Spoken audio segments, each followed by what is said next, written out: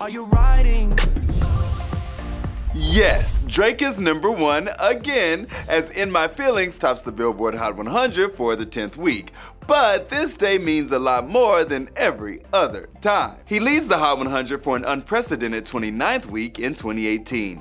With his three number ones this year, he has now passed Usher with 28 weeks at number one in 2004 for the most time atop the chart in a single year. It's almost as if this was God's plan.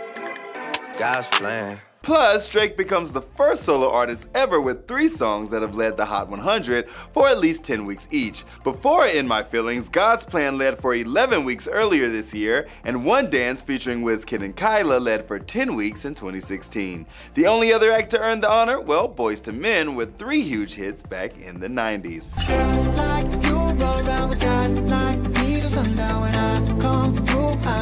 Elsewhere in the Hot 100's upper ranks, Maroon 5's Girls Like You featuring Cardi B keeps at number 2. Cardi, Bad Bunny, and J Balvin's I Like It holds at number 3, and Post Malone's Better Now returns to its number 4 peak from number 5. Now the unlikely pair of Kanye West and Lil Pump hop into the top 10, debuting on the Hot 100 at number 6 with I Love It. It arrives atop the streaming songs chart and obviously was helped by that oh so interesting video. I love it.